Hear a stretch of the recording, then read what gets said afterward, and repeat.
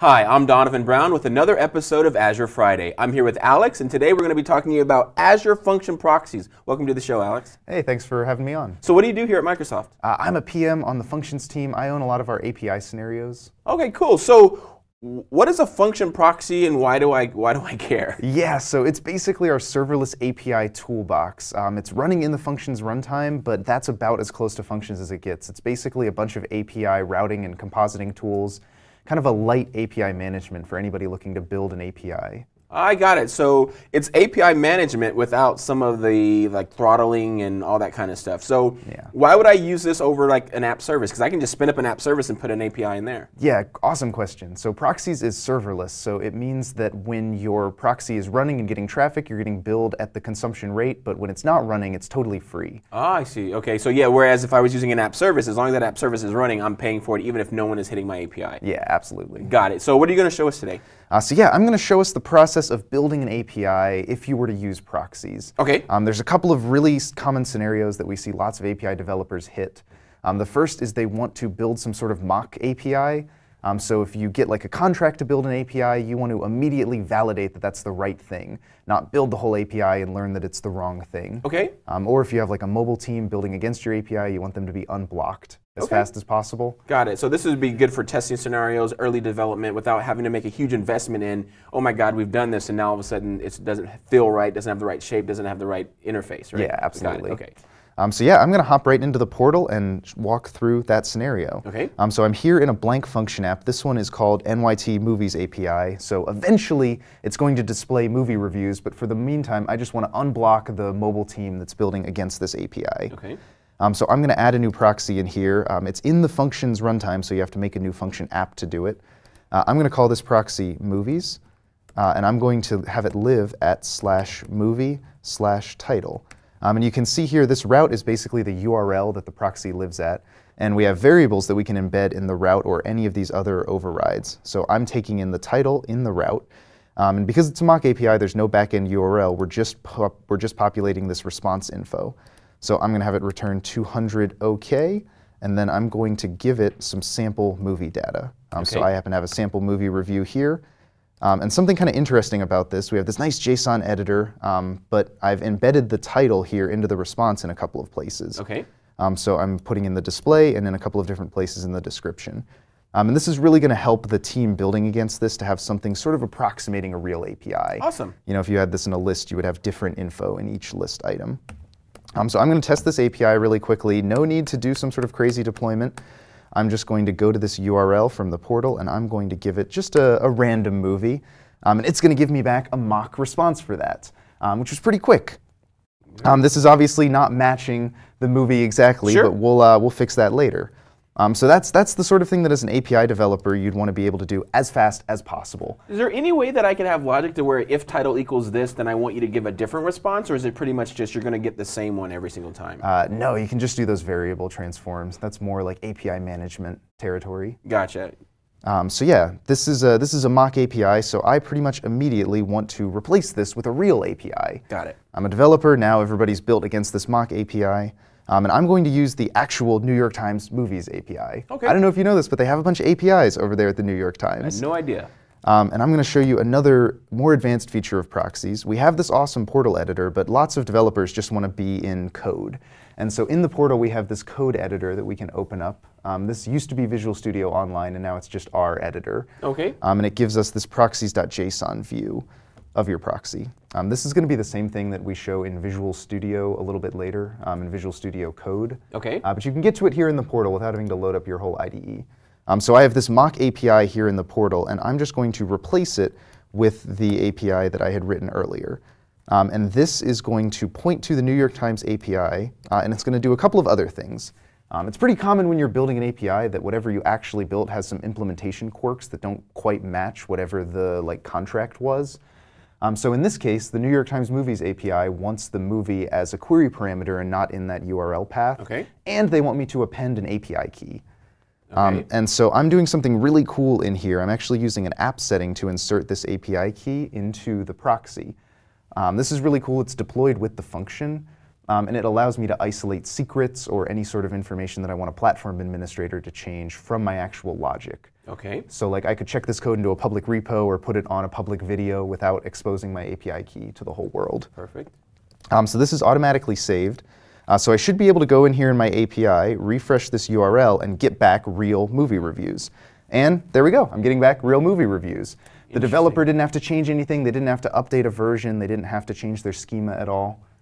Okay, so what I've so make sure I'm following. So we went in, we mocked out a very quick API. Yeah. And we understand now what the signature is. It basically has movie and then the title of the movie that I want.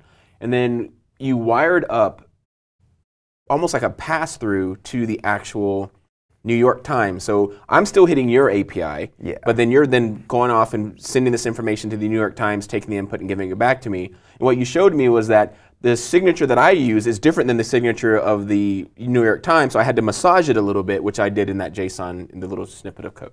Yeah. right, great. And now the people who use my API are actually using the New York Times API. Yeah, that's correct. All right, got it. Or they could be using any other backend. Sure, API. whatever. I just you just chose to use the New York API at this particular choice. Yeah. got it. Yeah. And what happened to that little?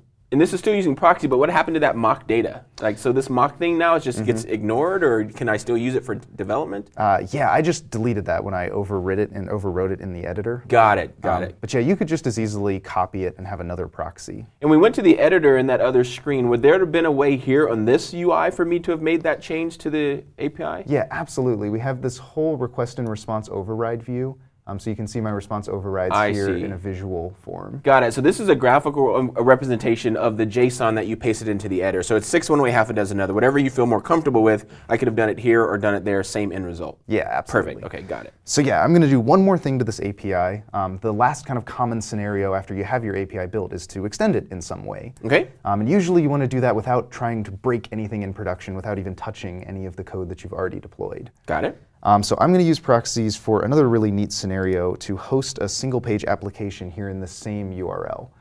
Um, and this is really cool, especially if you're looking to move out of a whole server deployment. Um, you could have like a really simple web page without having to spin up an app service instance and Okay. pay for that every month.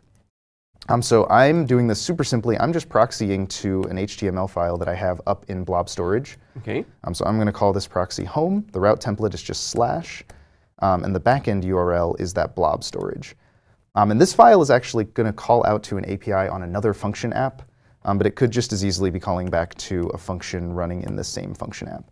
Um, so if I go to my root URL, I get a nice little single page application, and it has a very simple API that just gets me server time at that other function app. I see. Um, So what we could have also done, as you were just describing, is I could have this single page app. So this spa here could actually be calling the movies proxy that we decided before and show me the list of the reviews of whatever I did I typed in. But of course, it'd be a lot better than seeing raw JSON because in that spa I could then go ahead and polish the data and make it look better. yeah, absolutely. And then because it's a function, I'm only getting paid if and only if someone is actually hitting it, not like an app service where I'm paying for it all the time. Yeah, and Got because it. it's a function, you get an awesome free charter. You get a million free executions a month. Wow. Okay. so even oh wow. So not only do I only pay when someone's hitting it, I only pay if someone hits it for the millionth and first time. Yeah, Yeah. Wow. So I can see this being free for a lot of the APIs I write. I wish they were popular enough Yeah. to have to be charged for, but they're not. Yeah. Well, All we're right. excited that you know once your API is popular enough, hopefully you can spend a little bit to uh, run that service. Perfect. Now, do you think once I've gotten to the point where I'm doing over a million of these a day, that I would be moving to like API management, or would I stay here? When when do I? When's the signal to me that okay, Donovan, you've outgrown using proxies. You need to go and do something more mature. Uh, yeah, quick. It's a million a month. A million a month, great, yeah. not a day. Okay. Um, but yeah, I see when you start to need some of those more advanced routing features, um, so some more complicated transforms, or if you want to do like rate limiting. Gotcha. Um, APIM has like a whole developer onboarding portal that lots of people love. okay, great. Um, so what else do you have to show us here? Uh, yeah, so I have we have a whole local experience for proxies. Okay. Um, you can run it with the local runtime, and you can write proxies in in uh, Visual Studio Code or Visual Studio or just any text editor if you feel so inclined. Um, so I'm here in Visual Studio Code, and I have a local function in here. Um, over on the left, I have just a simple JavaScript function inside of this function app, and then I have this proxies JSON file. Okay. Um, and here it's populated with just a super simple proxy. Um, this is another mock API, and it's replicating the hello serverless example that we load up in a lot of new functions. Okay. Um, and something really cool in here, because we're away from the portal, um, Visual Studio Code has a little bit extra to help us write this JSON file. Um, we have the schema here, and so if I hover over any of these pieces of information, I actually get the inline documentation, which I think is super cool. And as I start typing in here, um, I actually get um, IntelliSense of all of the different proxies features. Great. Whenever I see something like this happening in code, my number one question is what extension did I have to install to get this? Because I'm sure this didn't come out of the box this Uh, way. this is, I think this is the coolest thing about Visual Studio. Any JSON with a schema does this. Perfect. Um, so there's no extension required to get this exact experience. Right, but the Azure Functions was an extension. Yeah. Okay, yeah. great. So what extension do we need to do to make sure that we have both of them? So any JSON with a schema, Visual Studio Code is going to give us this amazing experience. But to get that Azure Functions down here in my activity here, I'm sure I had to install an extension. Uh, yeah, there's an Azure Function extension that is Okay. just an extension of the Azure CLI. Perfect. Um, and. I actually like that you can use the Azure CLI outside of Visual Studio Yep. Code. Um, so I'm actually going to run this proxy locally. Um, and I like to use the extension just in PowerShell. Um, Okay. I like to not get so cramped inside of that Visual Studio Understood. window. Understood. Um, so I'm going to do func host start, and this is going to scan that local function, and it's going to show me both my function, my, uh, my proxy, and that JSON function. Okay. Um, and an interesting point here, as far as the function runtime is concerned, proxies are just functions with a precompiled blo- like box. Okay. Um, it doesn't know that it's got all that nice good proxies bits in it. Um, so it just shows me two HTTP triggered functions. Okay. In the portal, we separate them out for you, but as far as you're concerned, they're just functions with our code in them. Okay. Um, so it gives me these two APIs, and I'm going to use Postman here locally to test that proxy. Got it. Um, so I have it pointed at localhost, and I have a query parameter for my name, which is proxies, and it's going to tell me hello proxies. Got it. Um, and I can see over here in the terminal, it's giving me logs that it executed that function. Perfect. Um, so now I want to point this proxy at a local function, just the same way that I did in the portal to make this API now more live. Okay. Um, and something that's really cool, when you're developing locally, you obviously don't have the same URL for your local functions as your cloud functions. Right. Um, so we have a localhost keyword that lets you point at local functions. Um, and it's really neat. In the backend, it's actually directly um, po- pointing the request at um, the local function. It's not going back to the front end, it's not going back to the internet, it's taking that HTTP request and sending it straight to the function. Okay. Um, so it's way faster than going to a separate function app or like a separate instance somewhere else. All right. Perfect. Um, so and yeah, then, so how am I going to change this when we? Or I'm probably jumping ahead. So Mm-hmm. great local development, but eventually I'm going to want to put this back up in Azure. So what modif- Are you going to show us the modifications necessary to take this local thing and then put it back in Azure? uh, no, I'm just going to show you running it locally. All right, got Um, it. But there is a whole deployment flow um, inside of the CLI, and there's a bunch of different videos of other people Perfect. showing All right. We'll make sure that those are in the in the the notes for the show because we want to make sure this is always exciting to work on work locally and be able to develop much quicker than having to always make the changes in the portal. Mm-hmm. But we always got to make sure that once we're done, we got to get it back into the portal some way. Yeah. And I wouldn't want to have to duplicate my work. There has to be a deployment mechanism for that. Yeah. One important note: nothing changes when you add proxies. It's the same as deploying any other function to Perfect. Azure. Okay. Um, Great. so yeah, when I made this change, the function runtime, just like it runs in the cloud, it, locally it's scanning for new code changes. Okay. Um, so I didn't have to stop and start the runtime to see my new logic. Um, so if I go into Postman and call that exact same API, it should now send to the, J- the JavaScript, and the JavaScript gives a little bit of a different response. You know, it's sure JavaScript; it's a little bit more colloquial. um, Awesome. so yeah, that's everything I have to show today Very in cool. proxies. Thank you so much. So we're learning all about Azure Function Proxies here on Azure Friday.